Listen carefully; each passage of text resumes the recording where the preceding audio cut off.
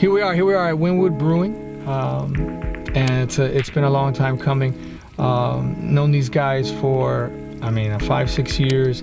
Knew them when they were home brewers, and uh, taking a lot of pride this weekend uh, painting this mural for them. Um, excited about the possible outcomes. Just excited to be here. It's like painting for family. It's like painting for somebody you, you know and love.